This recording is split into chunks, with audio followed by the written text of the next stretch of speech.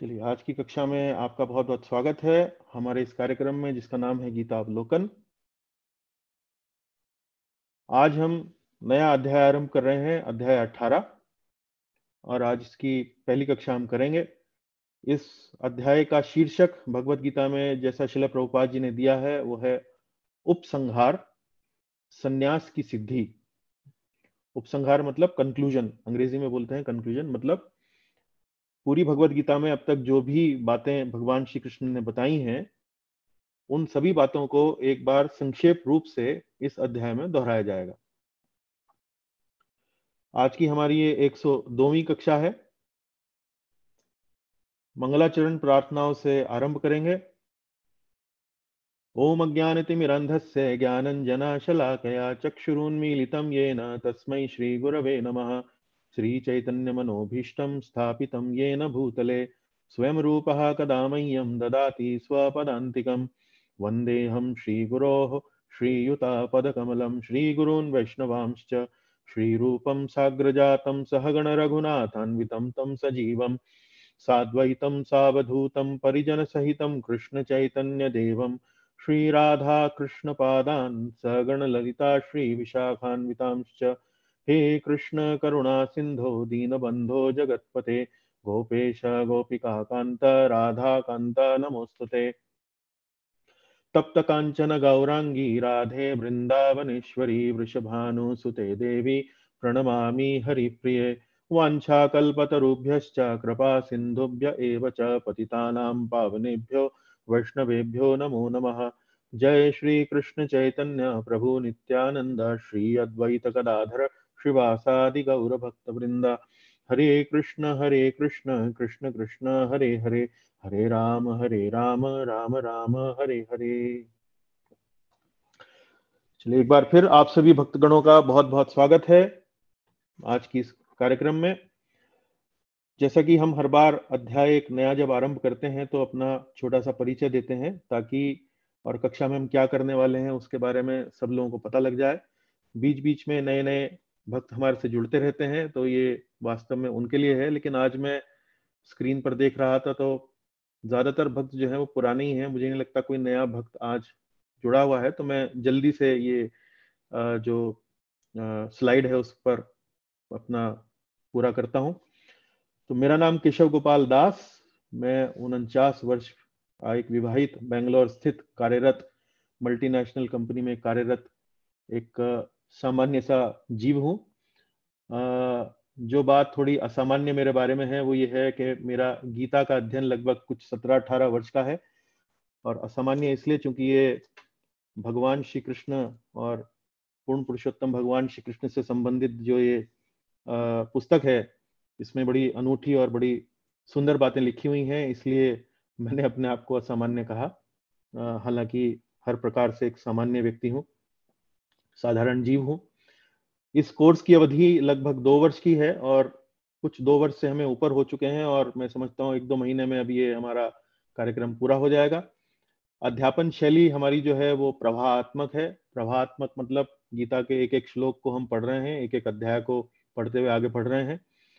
और अक्सर हम अपनी कक्षाओं में गीता के व्यवहारिक उपयोग और कार्यशालाएँ भी आयोजित करते हैं। कार्यशालाओं के अंतर्गत हम भगवत गीता में जो भी अध्याय हम पढ़ते हैं, उस पर आधारित कुछ प्रश्न उनका आपको पहले उसको करने के लिए उसको प्रेषित करते हैं, फिर जब आप उस पर अपने उत्तर देते हैं तो उस पर चर्चाएँ करते हैं, ताकि हमारी इसकी जो जो शिक्षा है, जो लर्निंग है, वो बहुत अच्छी हो। और श्लोकों के स्मरण पर भी हम इसमें कार्यक्रम में बल देते हैं।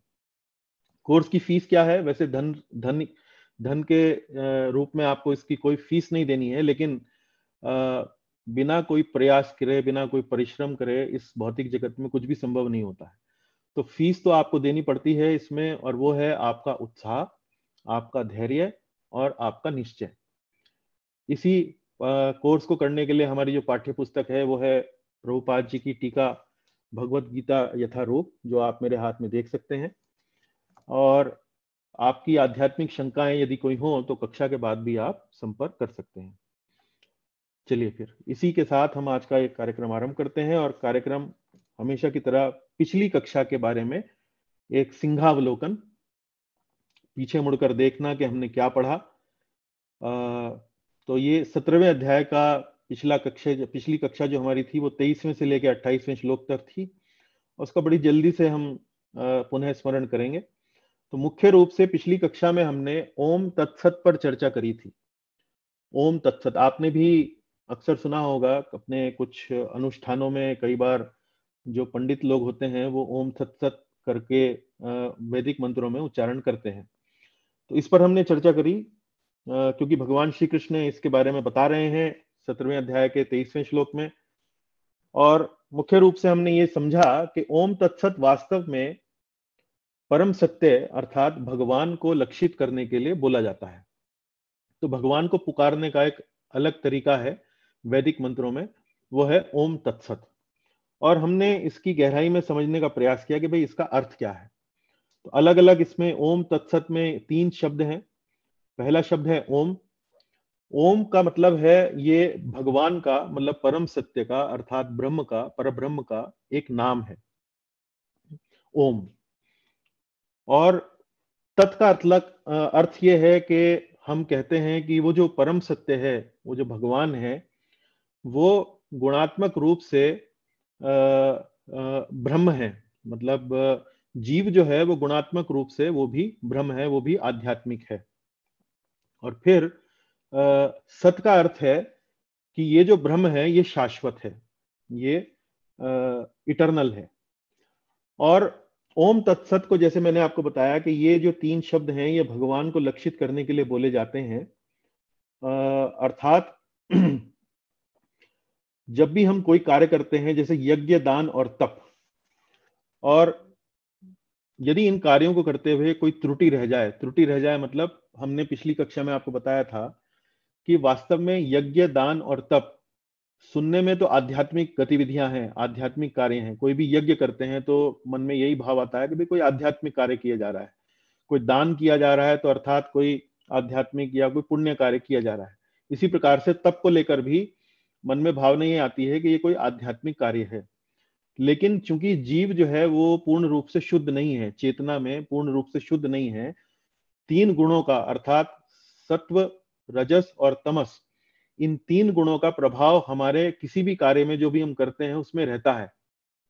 तो हम आध्यात्मिक कार्य जैसे यज्ञ, दान, तप, यदि ये जो कार्य हैं, इनको करते हुए भी कोई हमसे त्रुटि हो सकती है। तो इस त्रुटि को समाप्त करने के लिए, इस दोष को समाप्त करने के लिए, कोई भी जब हम यज्ञ दान तप का कार्य करते हैं तो अंत में हम लिखते हैं, अंत में हम बोलते हैं, ओम तत्सत।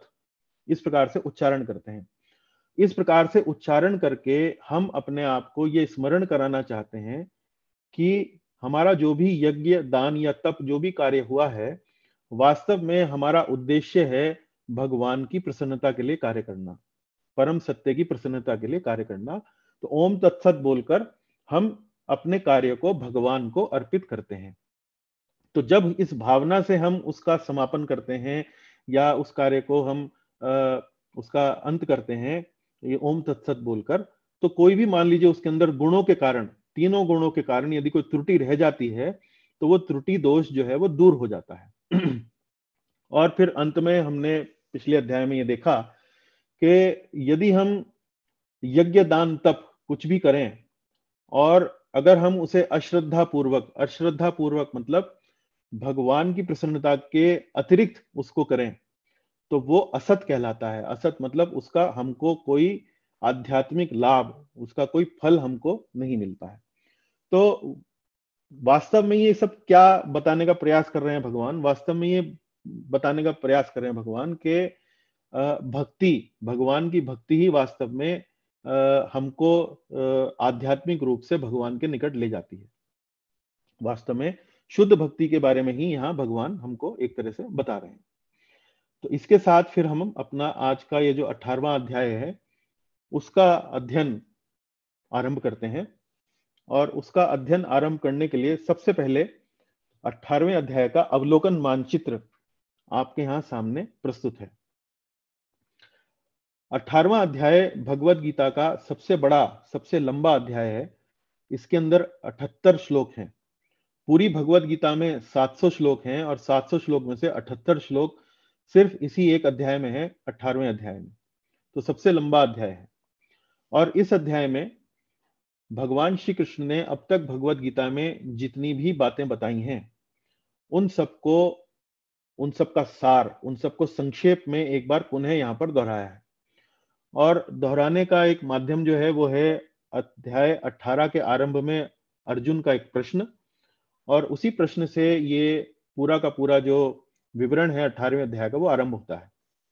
अब यहाँ देखिए कि इसमें अठारहवें अध्याय में यहाँ एक, दो, तीन, चार, पाँच, छ, सात सात अलग अलग भागों में इसको विभाजित किया गया है। और अलग अलग भागों में अलग अलग प्रकार का जिसे कहते हैं विषय चलता है। तो पहले से लेकर बारहवें श्लोक में भगवान श्री कृष्ण कर्म योग द्वारा बंधन से मुक्ति कर्म बंधन से मुक्ति कैसे मिले? तो कर्म योग के बारे में थोड़ा यहाँ पर चर्चा आरंभ करते हैं। वो चर्चा आरंभ होती है अर्जुन के एक प्रश्न से, और उस प्रश्न का उत्तर भगवान श्री कृष्ण लगभग उसी शैली में देते हैं, जैसे कि वो सत्रहवें अध्याय में यज्ञ, दान और तप के बारे में बताते हैं। सत्रहवें अध्याय में आपको ध्यान होगा यज्ञ दान और तप के बारे में भगवान बताते हैं तीन गुणों के आधार पर कि अगर सात्विक यज्ञ है तो उसके आ, उसकी जो बातें हैं वो इस प्रकार से हैं। अगर वही यज्ञ जो है वो राजसिक गुणों से प्रभावित है तो उसके विशेषताएँ ये हैं। वही यज्ञ यदि तमोगुणी से गुणों से बाधित है तो वो उसकी विशेषताएँ उसकी अलग अलग जो चरित्र हैं वो इस प्रकार से हैं। तो इसी प्रकार से भगवान श्री कृष्ण यहाँ पर भी पहले से लेके बारहवें श्लोक में अर्जुन के प्रश्न का उत्तर देते हैं लेकिन उसी उत्तर में वास्तव में कर्म योग की जो सिद्धांत है कर्मयोग क्या होता है उसका उत्तर जो है वहीं पर छिपा हुआ है। फिर कर्मयोगी का ज्ञान हम्म, तेरहवें से लेकर सत्रहवें श्लोक में कर्मयोगी का ज्ञान। कर्मयोगी का ज्ञान से यहाँ क्या मतलब है? कर्म योगी के ज्ञान से यहाँ मतलब ये है कि कर्म योगी किस बुद्धि से, किस दृष्टिकोण से, किस सोच से, किस विचारधारा को ध्यान में रखते हुए सर्वोपरि मानते हुए अपना कर्म करता है, अपना कार्य करता है।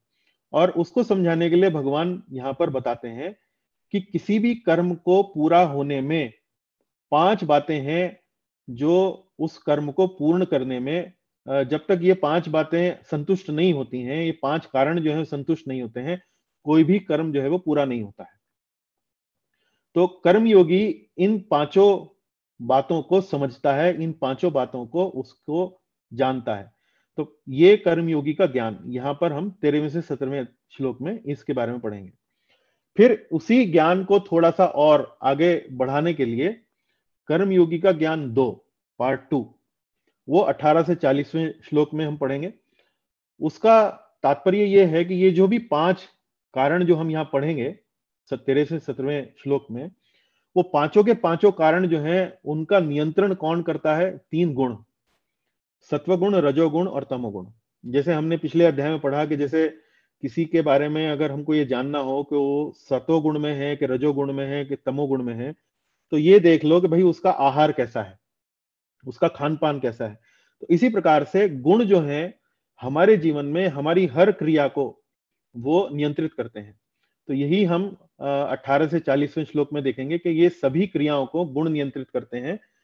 उसके बारे में विस्तार से हम जानकारी लेंगे। फिर 41 से 48वें श्लोक में भगवान श्री कृष्ण बताते हैं कि आप अपने कर्म योग को जब भगवान श्री कृष्ण को अर्पण करते हैं तो वो उससे आपका शुद्धिकरण होता है। मतलब कर्म योग में जो हमारा वर्ण आश्रम है, हम किस वर्ण के हैं, किस आश्रम के हैं, और हर वर्ण और हर हर आश्रम का जो कर्तव्य बताए गए हैं शास्त्रों में, यदि हम उनके अनुसार अपना कर्म करते हैं तो उससे हम भीतर से शुद्ध होते हैं। शुद्ध होने का मतलब क्या है? कि काम, क्रोध, लोभ, मोह, मद, मत्सर, ये जो विकार हमारे अंदर बैठे हुए हैं, उनसे हमें निजात मिलने लगती है, उनसे हमें शुद्धि होने लगती है हमारी। उसके बाद ज्ञान योग के साथ कृष्ण के लिए भक्ति। जब हम कर्म योग करते हैं धीरे धीरे अपना हृदय शुद्ध करते हैं तो हम ज्ञान योग करने के लिए एक प्रकार से क्वालिफाई करने लगते हैं। हम्म, हम हम ज्ञान योग करने के योग्य बन जाते हैं। तो फिर यह बताया गया है कि ज्ञान योग के साथ धीरे धीरे हम भगवान श्री कृष्ण की भक्ति तक कैसे पहुँच सकते हैं। तो कर्म योग से ज्ञान योग और फिर ज्ञान योग से भगवान श्री कृष्ण की भक्ति। तो ये एक तरीके से जो भगवत गीता के आरंभिक अध्यायों में बताया गया है कि कैसे धीरे धीरे व्यक्ति अपनी चेतना के स्तर को ऊपर उठा सकता है। कर्मयोग से ऊपर उठाकर उसे ज्ञान योग के स्तर पर ले जाए, ज्ञान योग के स्तर से उठाकर उसे भक्ति के स्तर पर ले जाए और भक्ति जो है वो भगवत गीता का जो सार है, जो उच्चतम जो सर्वोच्च योग की जो पद्धति है, उसके बारे में फिर यहाँ पर पचपनवे उनचासवें से लेके पचपनवे श्लोक में उसके बारे में चर्चा की गई है। छप्पनवे से छियासठवें श्लोक में फिर शुद्ध भक्ति है। जब आप यहाँ भक्ति के स्तर पर पहुँच गए हैं पिछले विभाग में तो शुद्ध भक्ति के बारे में विस्तार से चर्चा है कि शुद्ध भक्ति का अर्थ क्या है। अर्थात भगवान श्री कृष्ण की भावना में सदैव कार्य करते रहना। और फिर अंत में सड़सठ से लेकर अठहत्तरवें श्लोक में भगवत गीता के पढ़ने और पढ़ाने का महात्म्य है, इसका गुण क्या, इसका वास्तव में हमको लाभ क्या है? वो सब उसका गुणगान जो है अंत में सड़सठ में से लेके अठहत्तरवें श्लोक में भगवान करते हैं। तो चलिए, आरंभ करते हैं अठारह अध्याय के अध्ययन को। तो सबसे पहले सत्रहवें अध्याय से इसका संबंध जानने का प्रयास करते हैं। या यूँ कहिए कि पूर्व में जो भगवत गीता में जितना भी सब कुछ पढ़ाया गया है, उसका और अठारहवें अध्याय का क्या संबंध है? तो देखिए, पूर्व में, पिछले अध्यायों में योग की अलग अलग पद्धतियों का वर्णन है। योग की अलग अलग पद्धतियाँ कौन सी हैं? कर्म योग ध्यान योग ज्ञान योग है? अलग अलग पद्धतियाँ भगवान श्री कृष्ण ने पिछले अध्यायों में, भगवत गीता में बताई हैं। लेकिन हर अध्याय में अध्याय दो, अध्याय तीन, चार, पाँच, छह, सात अलग अलग जितने भी अध्याय आप पढ़ रहे हैं, उन सभी अध्यायों में हर पद्धति को बताने के बाद भगवान श्री कृष्ण घूम फिर के एक बात पे रहते हैं। और वो क्या है? वो ये है कि भक्ति योग सर्वोच्च योग है, सर्वोत्तम योग है, सबसे उच्चतम योग है भक्ति योग। भगवान श्री कृष्ण की शुद्ध भक्ति सर्वोच्च है। तो हर योग की पद्धति का, योग पद्धति का विविध वर्णन करने के बाद, विविध पद्धतियों का वर्णन करने के बाद, हर अध्याय में भगवान श्री कृष्ण साधक को या उसके पाठक को, सुनने वाले को भक्ति योग की सर्वोच्चता पर बल देते हैं। तो अब यहाँ पर क्या होने वाला है? अठारहवें अध्याय में हम विहंगा अवलोकन करने वाले हैं। विहंग अवलोकन मतलब क्या? जैसे आपने एक शब्द सुना होगा सिंघावलोकन तो सिंघावलोकन होता है थोड़ी दूर चलना और फिर पीछे मुड़कर देखना। जैसे सिंह जो है, अपना शिकार करता है तो शिकार करने के बाद वो थोड़ी दूर आगे चलता है और पीछे मुड़कर देखता है कि कोई और खतरा तो नहीं है। एक बार सब पूरी परिस्थिति की जानकारी लेता है। उसको बोलते हैं सिंहावलोकन। तो सिंहावलोकन में हम थोड़ा आगे बढ़ते हैं और पीछे मुड़कर देखते हैं। जैसे हम हर बार पुनः स्मरण करते हैं अपने कक्षाओं में। तो विहंगावलोकन क्या होता है? विहंग बोलते हैं पक्षी को। विहंगावलोकन होता है ऊपर से दस हज़ार फीट की ऊंचाई से मतलब पाँच हज़ार, दस हज़ार फीट की ऊंचाई से नीचे देखना। तो यदि जैसे मैं बैंगलोर शहर में रहता हूँ और विहंगा विहंगा अवलोकन का मतलब ये होगा कि ऊपर से देखना कि बैंगलोर नगरी पूरी तरह से कैसे दिखती है, ऊपर से, काफ़ी दूरी से। तो अठारहवें अध्याय में विहंग, विहंगावलोकन में क्या होता है कि हम पूरी वस्तु का, है, पूरी वस्तु का एक दृष्टि में उसकी जानकारी लेते हैं। तो इसी तरीके से अठारहवें अध्याय में हम पूरी भगवत गीता के अंदर जो भी बातें बताई गई हैं, उनका एक प्रकार से अध्ययन करेंगे। उनका एक प्रकार से बड़ा जल्दी, तुरंत मुख्य मुख्य जो भी बातें हैं, उनका एक बार से उसकी, उसका अवलोकन करते हैं, उसकी जानकारी लेते हैं। तो इसमें आरंभ कहाँ से होता है? आरंभ होता है कर्म योग की संक्षिप्त विवेचना से। भगवान श्री कृष्ण इस अठारहवें अध्याय का आरंभ करते हैं। तो यही बात प्रभुपाद जी अठारहवें अध्याय के पहले श्लोक में भी लिखते हैं। वो लिखते हैं, वास्तव में भगवत गीता सत्रह अध्यायों में ही समाप्त हो जाती है। अठारह अध्याय पूर्व विवेचित विषयों का पूरक संक्षेप है। पूर्व विवेचित का मतलब पिछले अध्याय में जो बताया जा चुका है संक्षेप मतलब उसको समरी रूप में, उसको संक्षेप में यहाँ पर लिख दिया गया है, यहाँ पर बताया गया है। प्रत्येक अध्याय में भगवान बल देकर कहते हैं कि भगवान की सेवा ही जीवन का परम लक्ष्य है। भगवान की सेवा अर्थात भगवान की भक्ति। इसी विषय को इस अठारवें अध्याय में ज्ञान के परम गुह्य मार्ग के रूप में संक्षेप में बताया गया है। इसी बात को कि भगवान की भक्ति जो है वो जीवन का चरम लक्ष्य है, अर्थात परम गुह्य मार्ग, परम गुह्य मतलब मोस्ट कॉन्फिडेंशियल पाथ है। इसी बात को अठारहवें अध्याय में बड़ा समरी रूप में, संक्षेप रूप में बताया गया है। दूसरी जगह ये लिखते हैं, प्रभुपाद जी, जिस प्रकार द्वितीय अध्याय में संपूर्ण विषय वस्तु की प्रस्तावना का वर्णन है, उसी प्रकार अठारहवें अध्याय में सारे उपदेश का सारांश दिया गया है। तो दूसरे अध्याय में भगवान श्री कृष्ण जब अर्जुन को उपदेश देना आरंभ करते हैं तो वास्तव में दूसरे अध्याय में वो मुख्य मुख्य बातें भगवत गीता की वहाँ पर उन उन पर प्रकाश डाल देते हैं। लेकिन अठारहवें अध्याय में अब उन्हीं बातों को एक बार फिर उपसंहार मतलब कंक्लूजन के रूप में यहाँ पर भगवान प्रस्तुत करेंगे। चलिए। तो देखिए, पहला जो विभाग है वो है कर्मयोग। कर्मयोग के ऊपर हम चर्चा करने वाले हैं। देखिए इसकी चर्चा कैसे आरंभ होती है? इसकी चर्चा आरंभ करने के लिए अर्जुन जो है वो भगवान श्री कृष्ण से एक प्रश्न पूछते हैं। अब वो प्रश्न इस प्रकार है। प्रश्न का जो मुख्य सार है वो ये है अर्जुन का जिज्ञासा इस बारे में। हे प्रभु मुझे ये बताइए कि सन्यास और त्याग इन दोनों में क्या अंतर है? हम्म, और कैसे पूछते हैं अर्जुन प्रश्न? देखिए अर्जुन उवाच संन्यासस्य महाबाहो तत्वम् इच्छामि वेदितुं त्यागस्य च ऋषिकेश, पृथक् केशी निषूदन त्यागस्य च ऋषिकेश, पृथक् केशी निषूदन संन्यासस्य महाबाहो। तत्वम इच्छामि वेदितुम। तत्वम तत्व मतलब गहराई से तत्व से। इच्छामी मतलब मेरी इच्छा है। वेदितुम, जानना चाहता हूँ। तत्व से जानना चाहता हूँ, ऐसी मेरी इच्छा है। किस बारे में? सन्यास किसे कहते हैं, ये मुझे एक बार बताइए। हे महाबाहो तो वो श्री कृष्ण को हे महाबाहो कह के संबोधित करते हैं और पूछते हैं कि मैं ये जानना चाहता हूँ कि सन्यास क्या होता है, सन्यास का उद्देश्य क्या होता है, ये मैं जानना चाहता हूँ। उसके बाद दूसरी पंक्ति में पूछते हैं, त्यागस्य च ऋषिकेश पृथक केशी निषूदना। हे ऋषिकेश, हे केशी निषूदन मैं त्याग का भी उद्देश्य जानना चाहता हूँ, यह सन्यास से पृथक कैसे है? पृथक केशी निषूदना से च ऋषिकेश। अब देखिए भगवान श्री कृष्ण को यहाँ पर अर्जुन दो, तीन तरीके से संबोधित कर रहे हैं। हे महाबाहो और फिर कह रहे हैं ऋषिकेश, और फिर कह रहे हैं केशी निषूदन।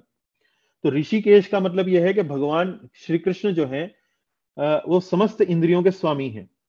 और केशी निषूदन का मतलब भगवान श्री कृष्ण जो है, वो केशी नाम के राक्षसों का दमन करने वाले हैं, उनका वध करने वाले हैं।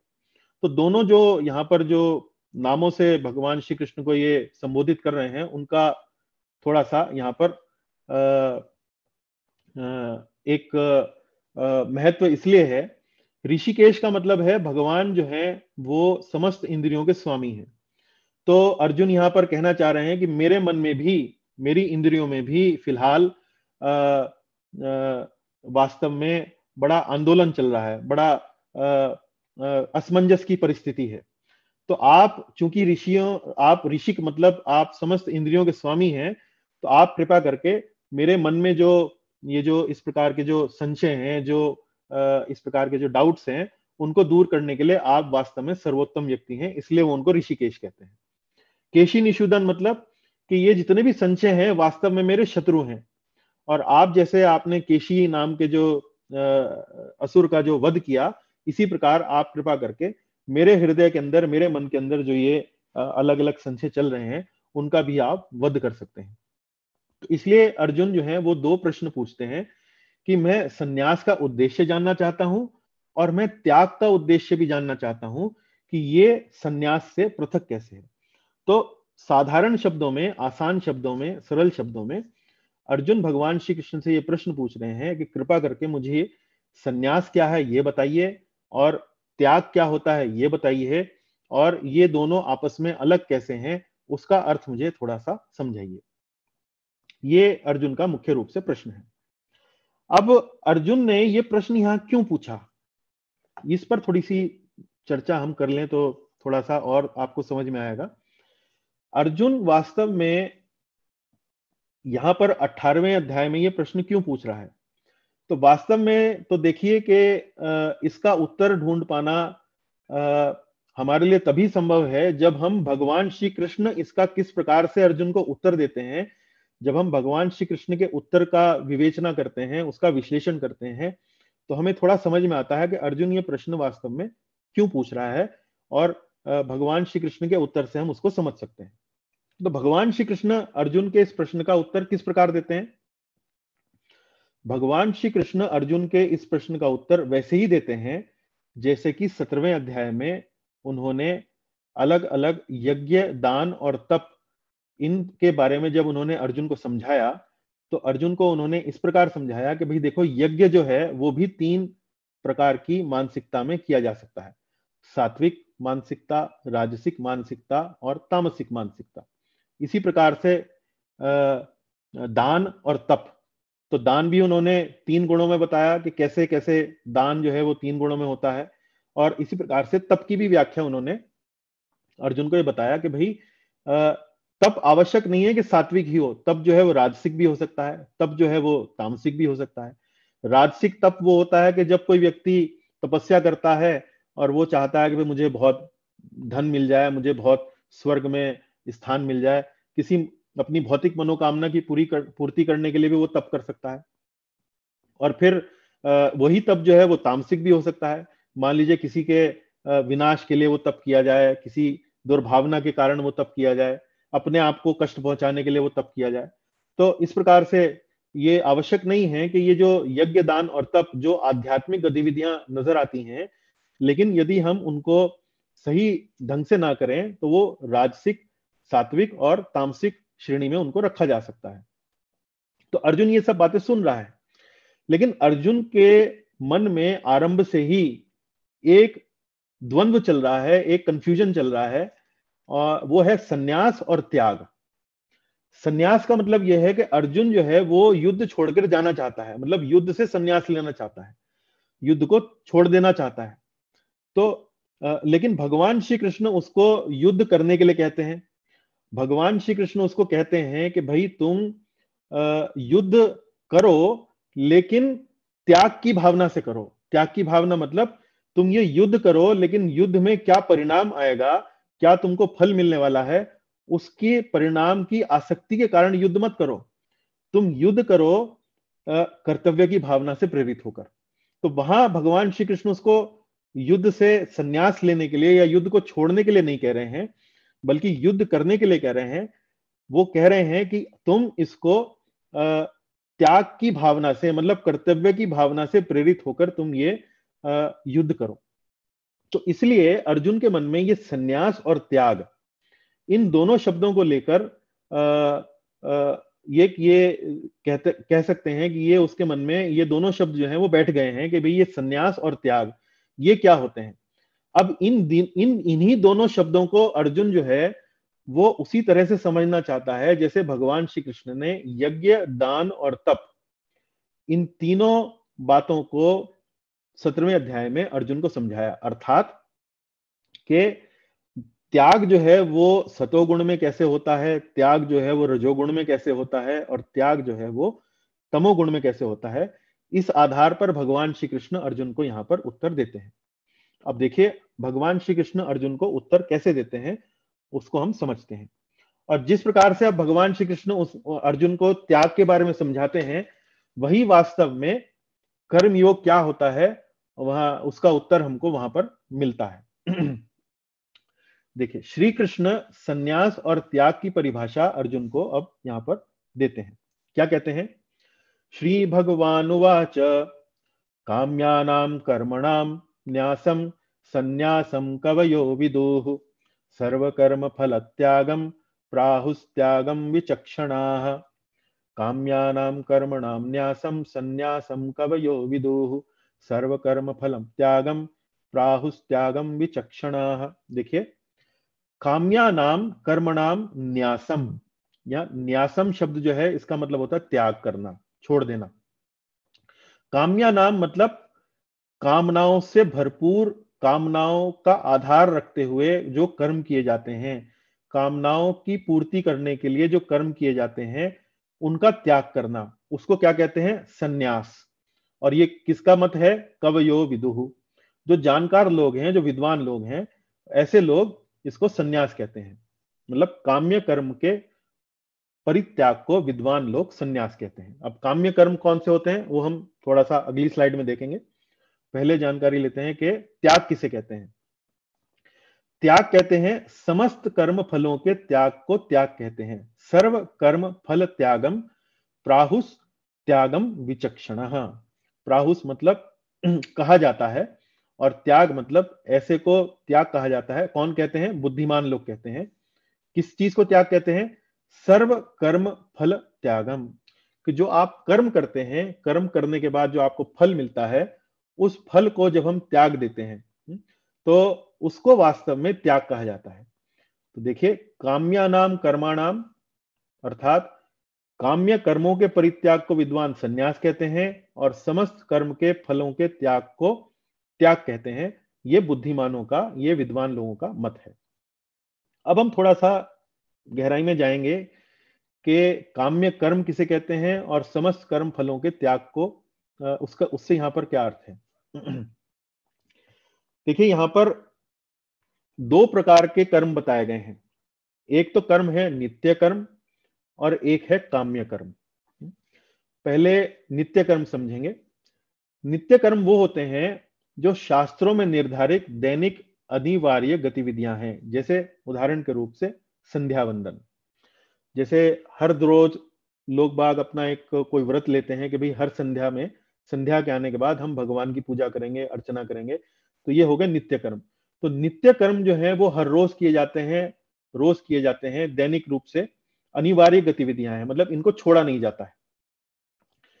दूसरे होते हैं काम्य कर्म। काम्य कर्म की जो आ, जो स्वरूप है जो उनकी जो नेचर है वो है जो विशेषता है वो ये है किसी विशेष व्यक्तिगत इच्छा पूर्ति के लिए किए गए कार्य वो होते हैं काम्य कर्म मतलब उदाहरण के रूप से स्वर्ग की प्राप्ति के लिए आप कोई यज्ञ करें, पुत्र की प्राप्ति के लिए यदि आप कोई यज्ञ करें, उनको काम्य कर्म कहा जाता है। इन दोनों में क्या अंतर है? वास्तव में देखिए, यहाँ पर पिछले श्लोक में आइए आप। तो काम्या नाम कर्मणाम न्यासम संन्यासम कवयो विदुहु तो जो व्यक्ति संन्यास ले लेता है, संन्यास ले लेता है मतलब जो व्यक्ति सक्रिय सामाजिक जीवन से संन्यास ले लेता है, उनको छोड़ देता है। जैसे परिवार में रह रहा है, परिवार में संबंधी है अपना कार्य करने के लिए कहीं रोज़गार करता है तो जो भी वो रोज़गार करता है, जो भी वो कार्य करता है, व्यापार करता है, उसमें कार्य करने के बदले उसको कुछ प्राप्त होता है, कुछ वेतन प्राप्त होता है। तो ये काम्य कर्म की श्रेणी में एक प्रकार से आ गया कि भाई हमने कुछ काम किया ताकि हमको कुछ वेतन मिले कुछ रोज कुछ हमें पारिश्रमिक मिले। तो सन्यास का मतलब यह है कि ऐसा कोई भी कार्य ना करना जिसमें कोई काम्य कर्म आ, आ, की संभावना हो जिसमें कोई कामना हमारी पूरी होने की संभावना हो। इसको सन्यास बोलते हैं। जैसे सन्यास आश्रम भी होता है ना जैसे वर्ण आश्रम में हम सन्यास आश्रम बोलते हैं इसको ही सन्यास आश्रम भी कहा जाता है। जब व्यक्ति सामाजिक सक्रिय सामाजिक जीवन से, सगे संबंधियों से व्यापार से, रोज़गार से उसको उसको छोड़ देता है, उससे संन्यास ले लेता है। तो इसको बोलते हैं संन्यास लेना। तो ऐसे संन्यास के अंतर्गत काम्य कर्म नहीं किए जाते हैं। काम्य कर्म मतलब कि भाई पुत्र प्राप्ति के लिए कोई यज्ञ करना। वैसे तो सन्यासी के लिए पुत्र प्राप्ति का कोई अर्थ ही नहीं है, पुत्र प्राप्ति के लिए कोई यज्ञ करना या स्वर्ग प्राप्ति के लिए यज्ञ करना या मेरा स्वास्थ्य ठीक हो जाए, उसके लिए कोई यज्ञ करना, मुझे धन की प्राप्ति हो जाए, उसके लिए कोई यज्ञ करना तो ये सन्यासी जो है, ये कार्य नहीं करते हैं। तो काम्य कर्मों का परित्याग मतलब सन्यास उसको कहा जाता है। फिर समस्त कर्म फलों का त्याग उसको त्याग कहते हैं। तो समस्त कर्म फलों के त्याग में क्या होता है कि मान लीजिए आपने कोई कर्म किया और कर्म करने के बाद जब आपको उसका फल मिला तो आपने उस फल को उसका त्याग कर दिया मतलब उसको किसी को भेंट दे दिया, उसको दान दे दिया, उसको भगवान के अर्पण कर दिया तो इसको त्याग कहा जाता है। समस्त कर्म फलों के त्याग को त्याग कहा जाता है। तो ये जो समस्त कर्म फलों का त्याग है, इसके लिए आवश्यक नहीं है कि आपको सक्रिय सामाजिक जीवन से संन्यास लेना पड़े या उसको छोड़ना पड़े। उसके अंतर्गत जो संन्यास होता है संन्यास के अंतर्गत आप काम्य कर्म का त्याग कर देते हैं, जैसा कि श्लोक में बताया गया लेकिन जो त्याग जो यहाँ पर जो जो परिभाषा दी गई है, त्याग के अंतर्गत हम अपने नित्य कर्म भी नहीं त्यागते हैं, ना ही हम अपने काम्य कर्म भी त्यागते हैं, बल्कि हम नित्य कर्म करते हैं या काम्य कर्म करते हैं विरक्ति के भाव से। विरक्ति के भाव का मतलब यह है कि हम उसमें किसी भौतिक इच्छा को हम उसके अंदर शामिल नहीं करते हैं, हम उसके अंदर उसको इन्वॉल्व नहीं करते हैं। इसका उदाहरण क्या है? देखिए, मान लीजिए हमने कोई यज्ञ किया कि भाई हमें पुत्र की प्राप्ति हो तो हम पुत्र की प्राप्ति के लिए यज्ञ तो कर सकते हैं त्याग के अंतर्गत, लेकिन हम अपनी भावना ये रख सकते हैं कि जो पुत्र हमें प्राप्त हो, हम उसे भगवान का भक्त बनाएँगे, या हम उसे वास्तव में सामाजिक कल्याण के कार्यों के लिए उस सामाजिक कार्य को सामाजिक कल्याण के कार्यों करने के लिए हम उसको प्रेरित करेंगे। उसके लिए हम उसको उसका लालन पालन ऐसे करेंगे कि वो या तो सामाजिक कल्याण के कार्यों के लिए प्रेरित हो।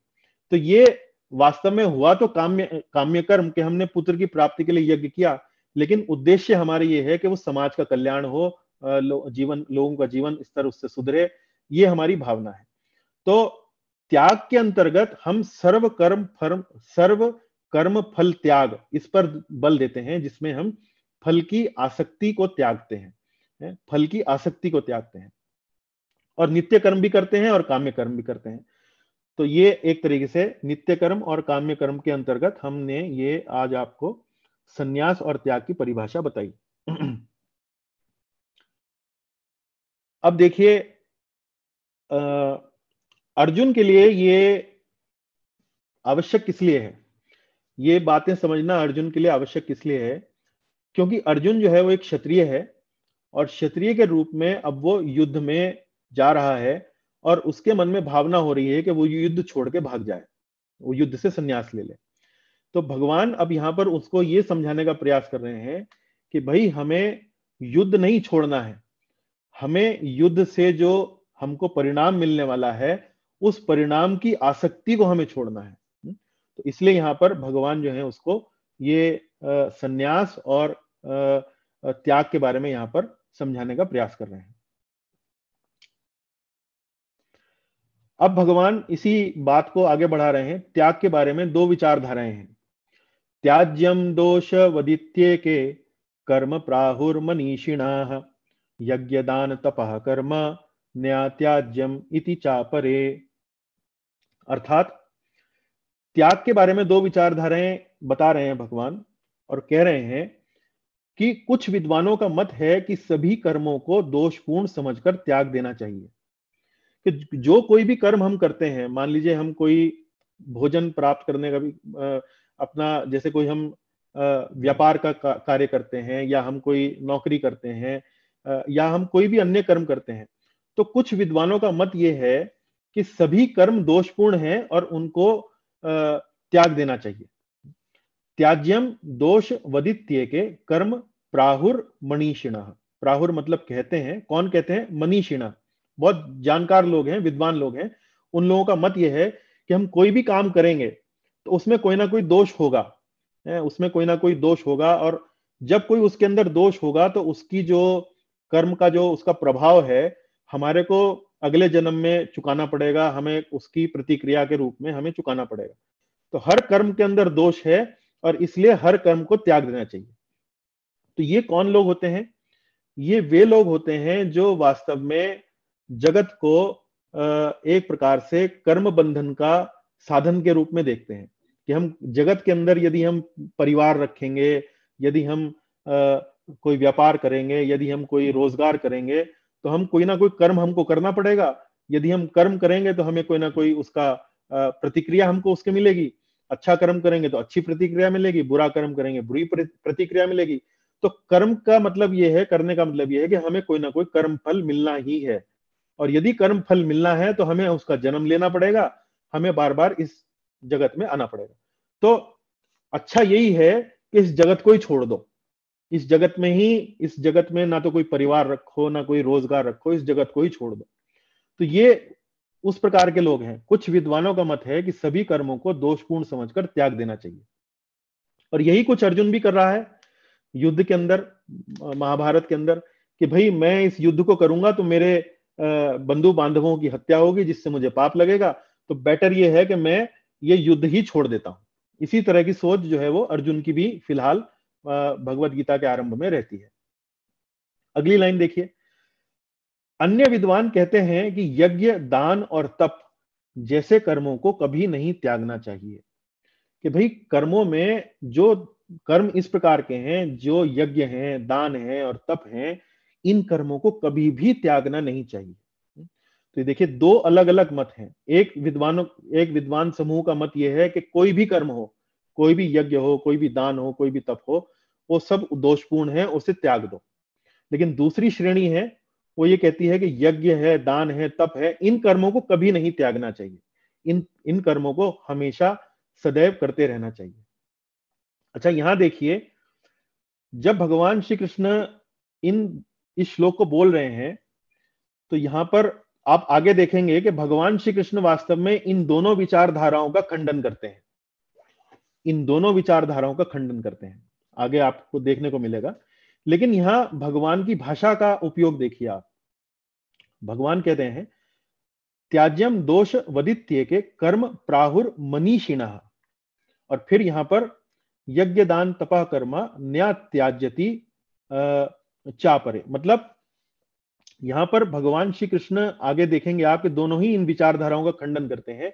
लेकिन इन विचारधाराओं के मानने वालों के लिए भगवान किन शब्दों का प्रयोग कर रहे हैं? मनीषिणा। मनीषिणा मतलब जो बहुत मनीषी लोग हैं जो बहुत आ, मन ईशी मतलब मन के ईश मतलब विद्वान लोग हैं।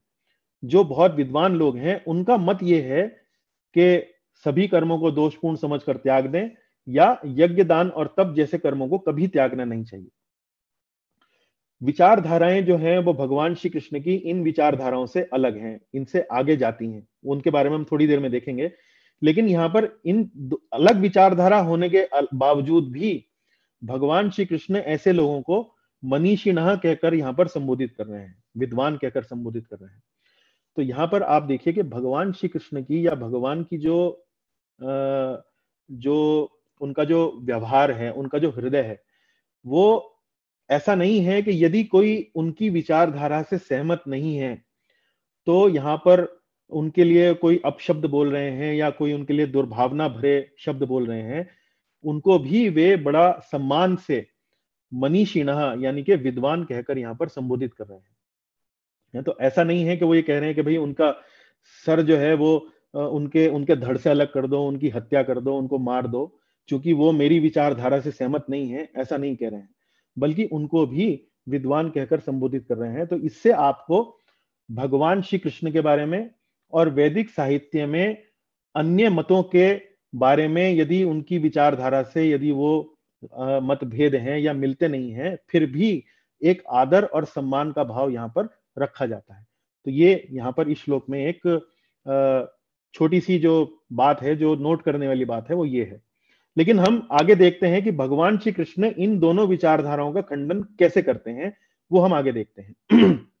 तो एक विचारधारा तो कहती है कि हर कर्म को दोषपूर्ण समझकर त्याग दो, और दूसरी विचारधारा कहती है कि यज्ञ, दान और तप, इनको कभी नहीं त्यागना चाहिए। हम्म?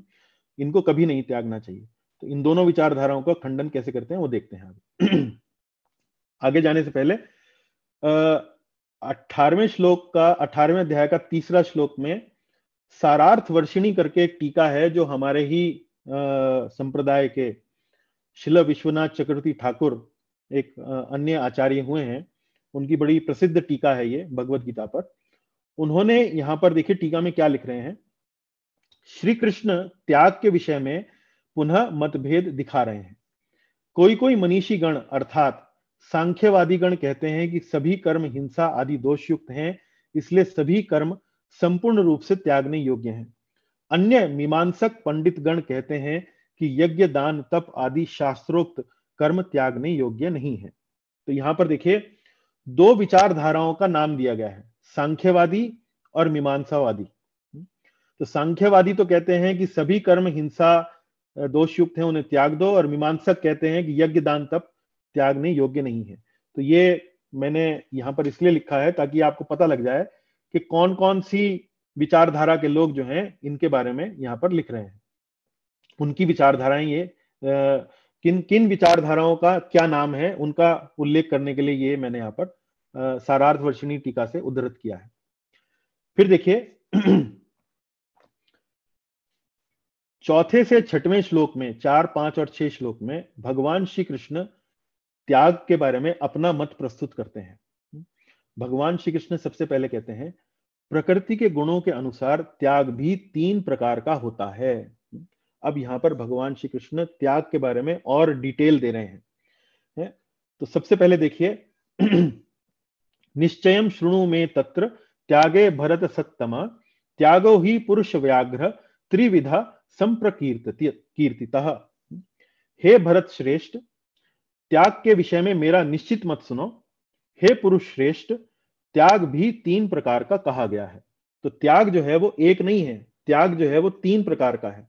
और उन तीन प्रकार के त्यागों में दो प्रकार का त्याग जो है वो छोड़ने योग्य है, उसको स्वीकार नहीं किया जाता है। केवल एक प्रकार का त्याग जो है वो स्वीकार किया जाता है। जैसा कि आप देखेंगे। आगे। और इन तीन प्रकार के त्यागों के बारे में वो कहा बता रहे हैं, अभी आज देखेंगे आप आज की कक्षा में, सातवें, आठवें और नौवें श्लोक में वो इन तीन प्रकार के त्यागों को बता रहे हैं, जिसमें कि सातवें में वो तमोगुणी त्याग, आठवें में रजोगुणी त्याग और नवे में सतोगुणी त्याग के बारे में बताते हैं। अब देखिए, अब पाँचवें श्लोक में भगवान श्री कृष्ण बोल रहे हैं, यज्ञ दान तप के कर्मों का त्याग कभी नहीं करना चाहिए। अब ये भगवान श्री कृष्ण अपना मत दे रहे हैं। यज्ञ, दान और तप जैसे कर्मों का त्याग कभी नहीं करना चाहिए। अब आप यहाँ देखिए, जो हमने यहाँ पर तीसरे श्लोक में पढ़ा। तीसरे श्लोक में पहली विद्वान श्रेणी क्या कह रही है? सभी कर्मों को दोषपूर्ण समझकर त्याग देना चाहिए। और भगवान श्री कृष्ण पाँचवें श्लोक में क्या कह रहे हैं? यज्ञ, दान और तप, इनका कभी त्याग नहीं करना चाहिए। तो यानी कि इन्होंने भगवान श्री कृष्ण ने ये जो पहली जो श्रेणी है इसको इसका खंडन कर दिया। हम्म, इसका खंडन कर दिया। इनका कहना यह है कि सभी कर्मों को दोषपूर्ण समझकर त्याग देना चाहिए और भगवान श्री कृष्ण यहाँ पर कह रहे हैं पाँचवें श्लोक में कि यज्ञ दान तप जैसे कर्मों का त्याग कभी नहीं करना चाहिए। लेकिन यहाँ पर आप देखिए ब्रैकेट में मैंने यहाँ पर क्या लिखा है? सतोगुणी। सतोगुणी यज्ञ दान तप के कर्मों का त्याग कभी नहीं करना चाहिए। और ये बात हमें कहाँ पता लगेगी? सतोगुणी का कभी त्याग नहीं करना चाहिए। ये आपको आगे आने वाले श्लोकों में, सातवें, आठवें और नौवें श्लोकों में, ये वहाँ आपको पता लगेगी। तो एक तरीके से आप ये देखिए, भगवान श्री कृष्ण यहाँ पर इन दोनों विचारधाराओं का खंडन कर रहे हैं। पहली विचारधारा को तो खंडन हो ही गया, लेकिन दूसरी विचारधारा में का कहना यह है कि किसी भी प्रकार का यज्ञ हो, किसी भी प्रकार का दान हो, किसी भी प्रकार का तप हो, उनको कभी त्यागना नहीं चाहिए।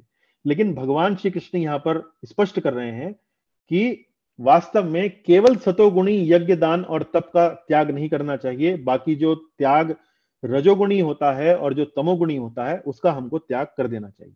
तो यहाँ पाँचवें श्लोक में भगवान क्या कह रहे हैं? यज्ञ दान तप कर्म न्यात्याज्यम कार्यमेव तत्। यज्ञो दानम तपश्चैव पावनानी मनीषिणाम। अर्थात यज्ञ दान और तप के जैसे कर्म न्यात्याज्यम कार्यमेव तत् परित्याग के योग्य नहीं है। उन्हें अवश्य संपन्न करना चाहिए।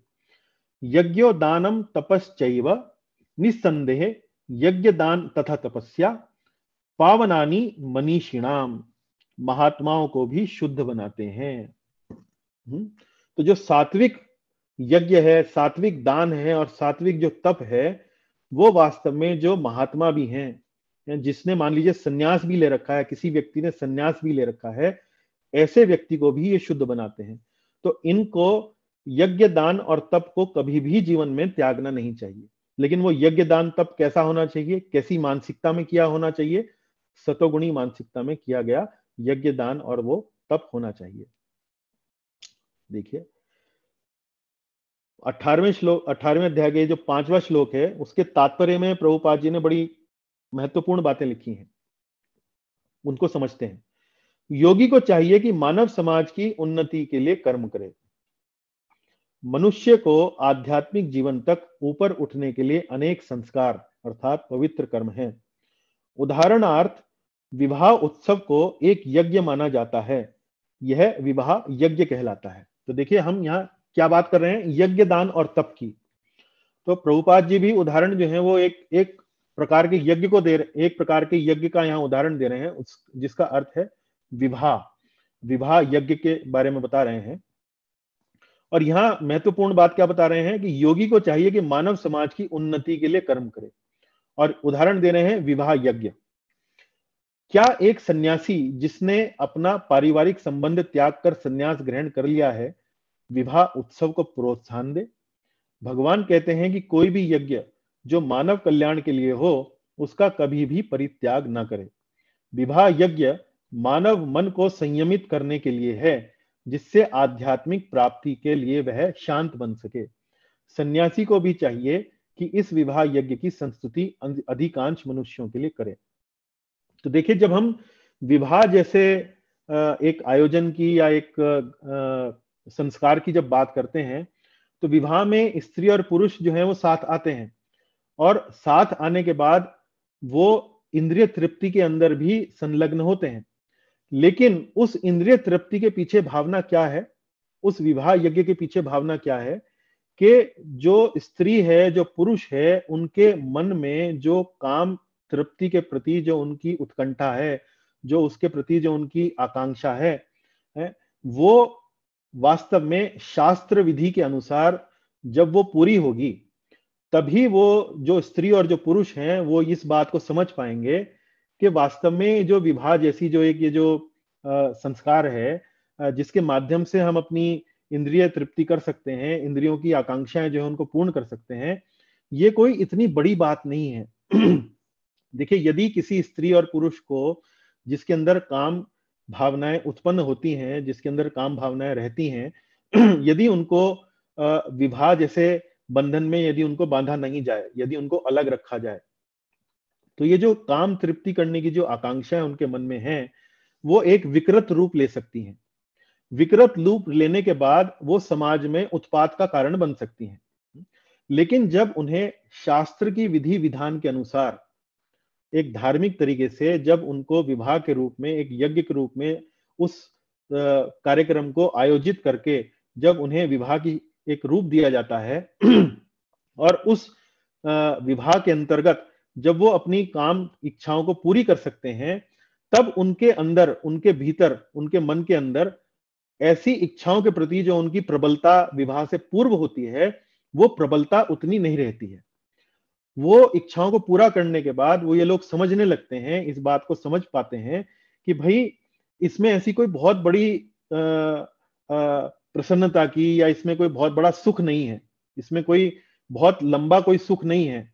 वास्तव में विवाह जब हम करते हैं तो कोई क्षणिक सा सुख है, लेकिन इसके इसके अलावा वास्तव में विवाह में हमें बहुत सारी हमारे ऊपर दायित्व भी आते हैं, जिम्मेदारियाँ भी आती हैं। तो ये प्रभुपाद यहाँ लिख रहे हैं कि विवाह यज्ञ मानव मन को संयमित करने के लिए है।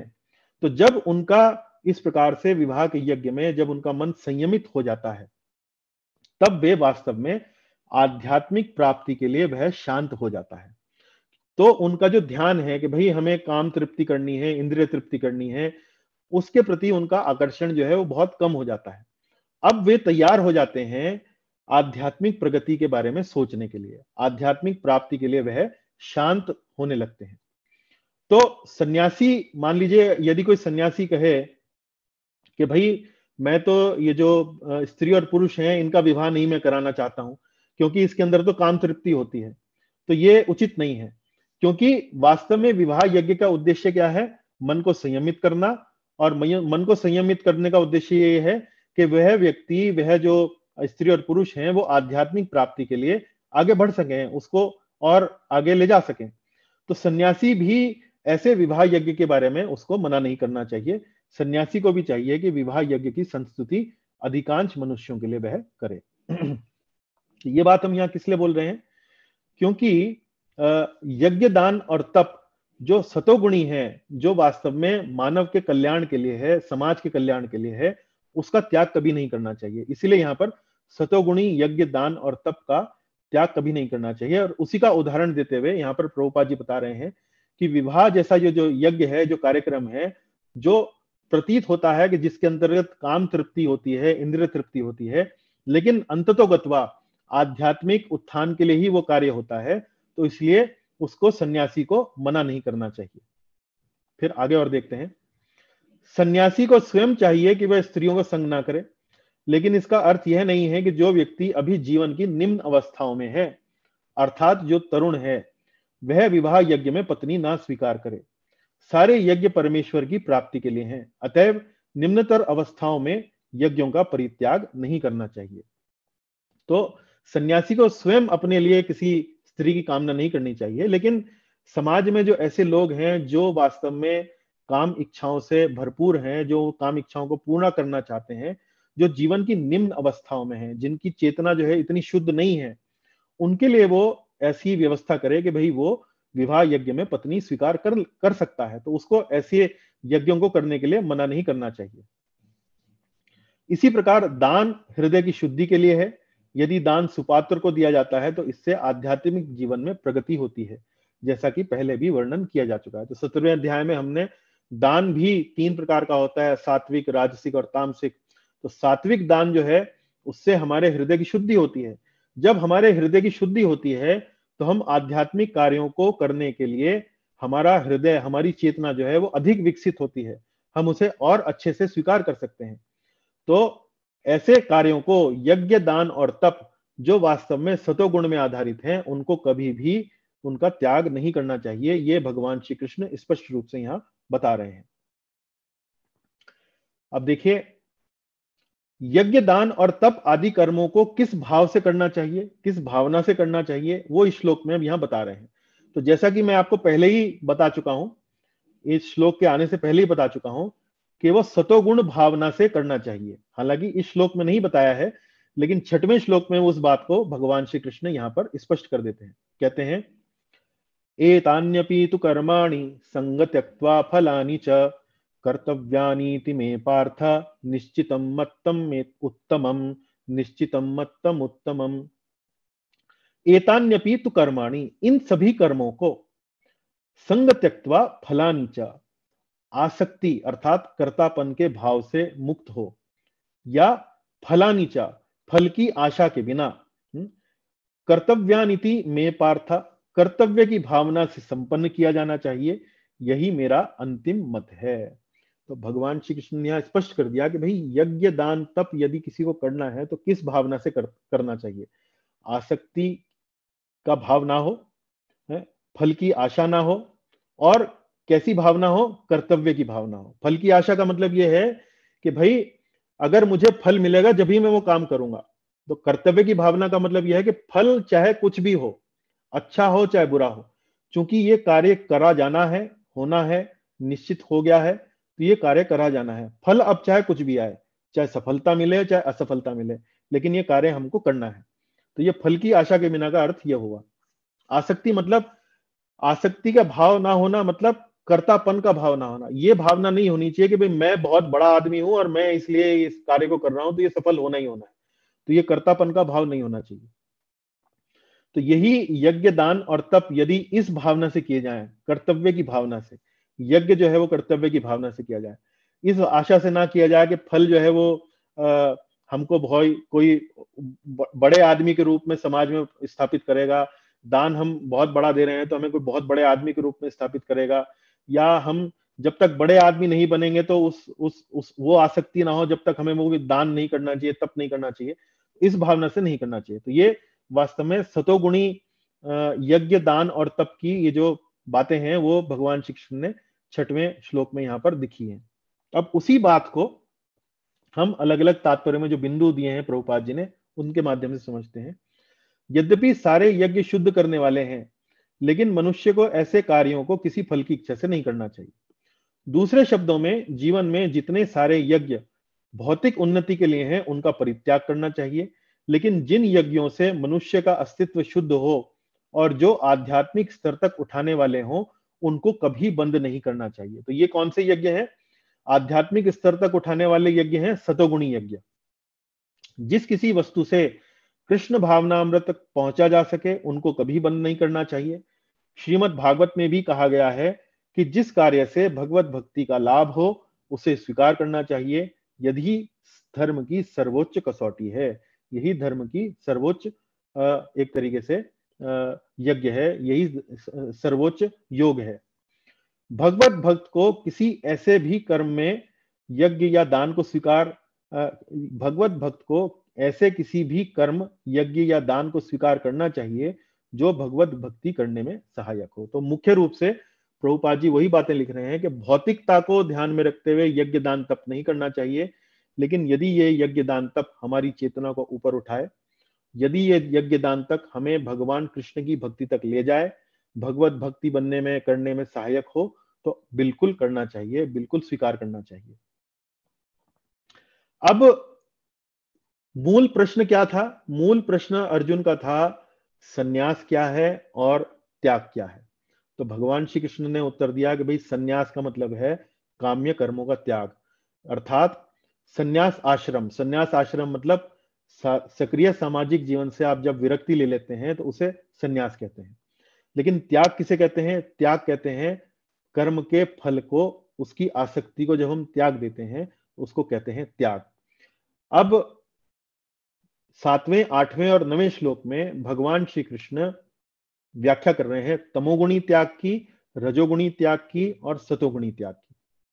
और इन तीनों की व्याख्या करके ये बात वो समझाना चाह रहे हैं कि भाई तमोगुणी त्याग स्वीकार नहीं करना चाहिए, रजोगुणी त्याग स्वीकार नहीं करना चाहिए, और सतोगुणी त्याग को हमें स्वीकार करते रहना चाहिए, बल्कि सतोगुणी त्याग ही हमारा जीवन का एकमात्र लक्ष्य होना चाहिए। अब देखिए क्या कहते हैं। तमोगुणी त्याग मतलब यहाँ पर मैं श्लोक आपको भगवत गीता से पढ़कर सुनाता हूँ। श्लोक है नियत तो संन्यास, कर्मणो नोपपद्यते। मोहात तस्य परित्याग, तामस परिकीर्तिता। अर्थात, निर्दिष्ट कर्तव्यों को कभी नहीं त्यागना चाहिए। यदि कोई मोहवश अपने नियत कर्मों का परित्याग कर देता है तो ऐसे त्याग को तामसी कहा जाता है। तो यहाँ भगवान श्री कृष्ण कह रहे हैं कि नियत कार्यों को कभी भी त्यागना नहीं चाहिए। नियत कार्य कौन से हो गए? यज्ञ, दान और तप जो अभी भगवान श्री कृष्ण थोड़ी देर पहले बता रहे थे। भाई, ये नियत कार्य हैं। यज्ञ, दान और तप, इनको कभी त्यागना नहीं चाहिए। लेकिन यदि कोई व्यक्ति नियत कार्यों को त्यागता है, मोह के कारण या अज्ञानता के कारण तो उसको वास्तव में तमोगुणी त्याग कहते हैं। तो उदाहरण देखिए, भगवान को भोजन अर्पण ना करना। भगवान को भोजन अर्पण ना करना मतलब अज्ञानता के कारण यदि हम भगवान को भोजन अर्पण नहीं कर रहे हैं, शास्त्र के अनुसार हमें जब भी कोई भोजन प्राप्त करते हैं तो उसे भगवान को अर्पण करना चाहिए। यदि हम वो भोजन भगवान को अर्पण नहीं करते हैं, अज्ञानता के कारण, मोह के कारण तो उसको क्या कहा गया है? तमोगुणी त्याग यहाँ पर बताया गया है। अब ये तो तमोगुणी त्याग हो गया। रजोगुणी त्याग किसे कहेंगे? रजोगुणी त्याग ये है कि जिसमें नियत कार्यों को त्याग दिया गया है। जैसे यज्ञ ज्ञान यज्ञ दान और तप। इन तीनों कार्यों को हम त्याग देते हैं। किस लिए? शारीरिक असुविधा के कारण। या ये कार्य जो है बहुत कठिन है। शारीरिक असुविधा मतलब कि भाई इनको करने के लिए हमें सुबह जल्दी उठना पड़ेगा या हमें आ, इन कार्यों को करने के लिए बहुत प्रयास करना पड़ेगा या ये कार्य जो है करने में बहुत कठिन है या हमारी नींद जो है वो बाधित होगी। है, स्थान ना कर, स्नान ना करना, जैसे उदाहरण के लिए स्नान ना करना। मान लीजिए आपको रोज सुबह, शास्त्रों में बताया गया कि रोज सुबह जब हम उठे तो हमें स्नान करना चाहिए। ये हमारा नियत कार्य है। नियत कार्य है। स्नान करना चाहिए। लेकिन हम स्नान इसलिए नहीं कर रहे हैं कि भाई बहुत सर्दी पड़ रही है, या हम बहुत आलस में आ रहे हैं, या नींद हमारी पूरी नहीं हो पा रही है। तो ऐसे कार्यों को शारीरिक असुविधा के कारण, या ये कार्य यदि बहुत कठिन लगते हैं उनको त्याग देना ये रजोगुणी त्याग है। या अर्थ उप, उपार्जन ना करना। अर्थ उपार्जन मतलब जैसे हम परिवार में रहते हैं परिवार में पत्नी है बच्चे हैं माता पिता हैं तो उनका भरण पोषण करने के लिए पुरुष को बाहर जाकर कोई कार्य करना चाहिए कोई व्यवसाय करना चाहिए कोई व्यापार करना चाहिए ताकि वो अपने परिवार का भरण पोषण कर सके। लेकिन यदि वो कहता है कि भाई ये तो परिवार की जिम्मेदारियाँ तो बहुत कठिन हो गई हैं ये तो परिवार जो है बहुत धन संपत्ति, यहाँ तो बहुत काम करना पड़ता है। तो मैं वास्तव में ये सब ज़िम्मेदारी नहीं लेना चाहता हूँ और ज़िम्मेदारी ना लेने के कारण वो भागता है उसको उसको छोड़ देता है। तो ऐसे त्याग को क्या कहते हैं? रजोगुणी त्याग। अर्जुन के साथ भी कुछ कुछ ऐसा ही हो रहा है। अर्जुन को जो युद्ध करना है, उसको कठिन लग रहा है बहुत कार्य। कठिन क्यों लग रहा है? क्योंकि उसको भीष्म पितामह गुरु द्रोणाचार्य जैसे उसके जो सम्मानित वरिष्ठ जन हैं उनकी हत्या करनी पड़ेगी। तो उसको ये कार्य बहुत कठिन लग रहा है। उसको बड़ी असुविधा हो रही है ये कार्य करने के लिए। तो इसलिए वो इस कार्य से भाग रहा है। इस कार्य को छोड़ रहा है। वो कह रहा है कि मैं ये कार्य नहीं कर सकता क्योंकि मुझे इसमें अपने बंधु बांधवों को उनकी हत्या करनी पड़ेगी। तो वास्तव में अर्जुन का त्याग भी कुछ इसी प्रकार का है, जैसे हम बोलेंगे रजोगुणी त्याग। अब सतोगुणी त्याग क्या होता है? सतोगुणी त्याग के बारे में भगवान कहते हैं कार्यम इत्येव यत्कर्म नियतम क्रियते अर्जुन। संगम त्यक्वा फलम चैव त्याग सात्विको मत। अर्थात, जब मनुष्य नियत कर्तव्य को करणीय मानकर करता है और समस्त भौतिक संगति तथा फल की आसक्ति को त्याग देता है तो उसका त्याग सात्विक कहलाता है। मतलब नियत कार्य को करना और किस भावना से करना? कर्तव्य मानकर करना ड्यूटी मानकर करना। और फल की आसक्ति से रहित होकर करना फल की आसक्ति से रहित होकर करना। तो यहाँ वास्तव में त्याग किस बात का कर रहा है?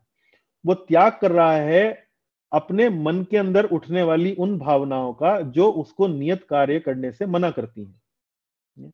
मान लीजिए आपका आ, कल कोई एग्ज़ाम है आप स्टूडेंट हैं आप कोई छात्र हैं आपका कल कोई परीक्षा है तो आपका वास्तव में नियत कार्य क्या है? आपका कर्तव्य क्या है? आपका कर्तव्य है बैठकर पढ़ाई लिखाई करें, अपने जो विषय है उसके बारे में अच्छे से अच्छी जानकारी करें ताकि आप परीक्षा में अच्छे से अच्छे अंकों से उत्तीर्ण हो सके।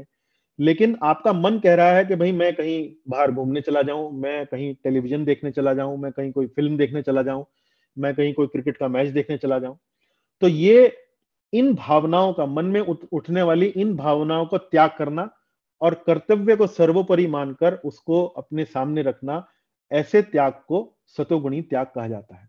और फल की आसक्ति से रहित। फल की आसक्ति मतलब मुझे तो इस समय परीक्षा के लिए पढ़ना है। अब पढ़ने के लिए ये तो पढ़ना तो है ही। भले ही मेरी तैयारी कितनी अच्छी हो रही है, पूरी नहीं हो रही है, लेकिन मेरा फ़िलहाल कर्तव्य ये है कि मुझे अपनी परीक्षा के लिए पढ़ना है। अब मुझे कल अंक जो है, कल मार्क्स जो है परीक्षा में मुझे बहुत अधिक मिलने वाले हैं या कम मिलने वाले हैं, मुझे उनकी चिंता नहीं है। फ़िलहाल मेरी ड्यूटी है पढ़ना तो मुझे पढ़ना चाहिए। तो ये वास्तव में नियत कार्य करना, कर्तव्य मानकर, फल की आसक्ति से रहित होकर। तो यही सब चीज़ें जो हैं, देखिए ये सतोगुणी त्याग जिसे हम बोल रहे हैं, यही वास्तव में कर्मयोग है। जो जिसकी शिक्षा भगवान श्री कृष्ण अर्जुन को दूसरे अध्याय में दे रहे हैं। तो इसी कर्मयोग के बारे में अर्जुन के एक प्रश्न के माध्यम से कि संन्यास क्या होता है और त्याग क्या होता है, भगवान श्री कृष्ण यहाँ पर समझा रहे हैं। और इसका उदाहरण क्या है? कोई कर्तव्य परायण परायण कर्मचारी, कोई व्यक्ति है जो किसी कारखाने में कार्य करता है, अपना नौकरी करता है, और वो कार्य जो है वो कर्तव्य की भावना से करता है मुझे प्रमोशन मिलेगा, नहीं मिलेगा, इस भावना से नहीं करता है तो इसका एक उदाहरण है, कर्तव्य परायण कोई कर्मचारी कहीं कोई जो कार्य करता है। प्रभुपाद जी ने अपने तात्पर्य में इसको कई माध्यम से कई और उदाहरण देकर समझाया है, जैसे पहले बिंदु में वो एक सन्यासी का उदाहरण दे रहे हैं कि अपने शिष्य की कृष्ण भावना अमृत में प्रगति में सहायक बनने के लिए सन्यासी जो है विवाह यज्ञ संपन्न करा सकता है। यदि कोई ऐसा कार्य ना करे, उसका परित्याग कर दे। सन्यासी कहे कि मैं तो विवाह नहीं कराऊँगा क्योंकि इसमें तो काम तृप्ति होती है, इसमें तो इंद्रिय तृप्ति होती है इस यज्ञ में तो मैं वो कार्य नहीं करूँगा। तो ऐसा जो कार्य है, उसको तमोगुण समझना चाहिए, क्योंकि सन्यासी का ये सन्यासी का वास्तव में ड्यूटी है कि वो ऐसे लोगों का विवाह कराए जो वास्तव में आ, आ, आ, अपनी काम पूर्ति करने के लिए साथ आना चाहते हैं लेकिन वास्तव में अंततोगत्वा उससे तृप्त होकर उससे संतुष्ट होकर फिर आध्यात्मिक प्रगति में लगे। तो जो व्यक्ति अब यहाँ पर देखिए ये ये तामसिक त्याग का उदाहरण है। यहाँ पर राजसिक त्याग का उदाहरण दिया है जो व्यक्ति कृष्ण भावनामृत को प्राप्त है उसे इस भय से अर्थ उपार्जन बंद नहीं करना चाहिए कि वह सकाम कर्म कर रहा है। यदि कोई कार्य करके कमाए धन को कृष्ण भावनामृत में लगाता है, या यदि कोई प्रातः काल जल्दी उठकर दिव्य कृष्ण भावनामृत का अग्रसर करता है, उसे चाहिए कि वह डरकर या यह सोचकर कि ऐसे कार्य कष्टप्रद हैं, उन्हें त्याग नहीं। ऐसा त्याग राजसी होता है। तो हमने इस पर चर्चा करी कि भाई कोई व्यक्ति अगर कमाई कर रहा है तो ये ना सोचे कि भाई मैं तो कोई सकाम कर्म कर रहा हूँ? वास्तव में उसको जो फल उसको मिल रहा है, यदि वो अच्छे कार्य में लगा रहा है भगवान की भक्ति में लगा रहा है, कोई समाज कल्याण में लगा रहा है तो ऐसे त्याग को राजसी नहीं कहते हैं, वो वास्तव में सात्विक त्याग है। लेकिन यदि भय के कारण वो अर्थ नहीं करता है, उपार्जन नहीं करता है, सुबह जल्दी नहीं उठता है तो ऐसे त्याग को वास्तव में राजसी कहते हैं।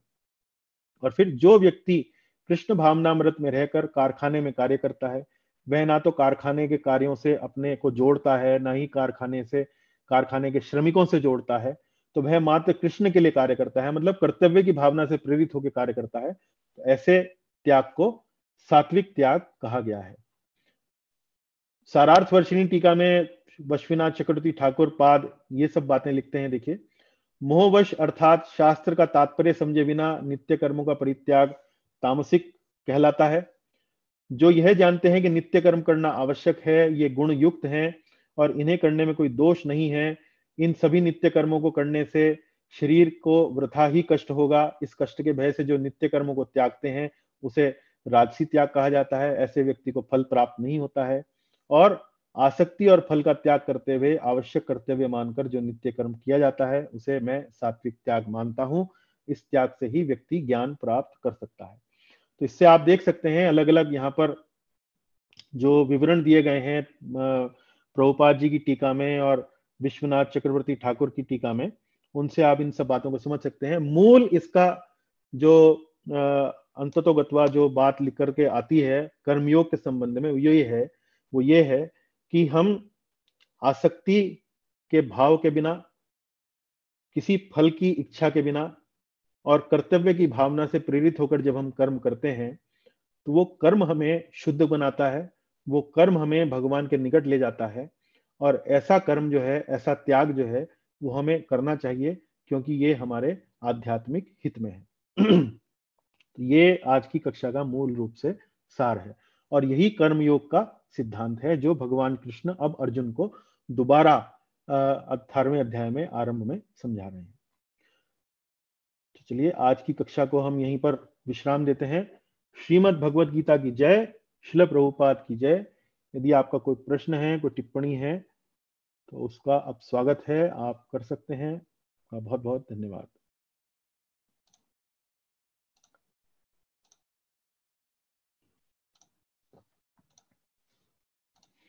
बताइए, कक्षा कठिन लगी या सरल लगी? आपको बात समझ में आई?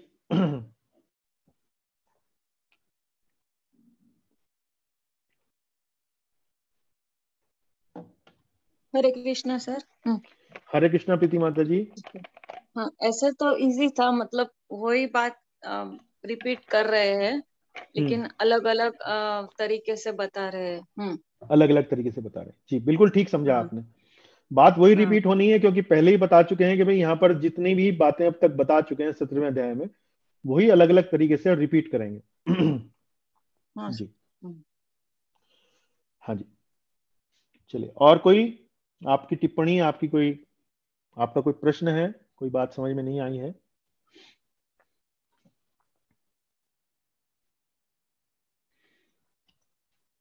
लगता है कि सब बातें समझ में आ रही हैं तो आ, आ, बहुत सुंदर बहुत अच्छी बात है बहुत बहुत धन्यवाद।